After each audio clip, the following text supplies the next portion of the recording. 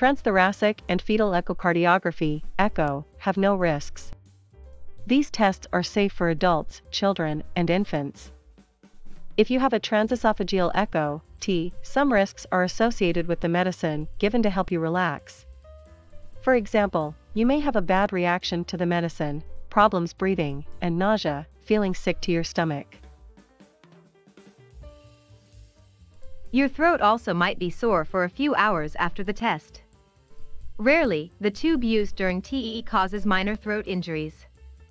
Stress echo has some risks, but they're related to the exercise or medicine used to raise your heart rate, not the echo.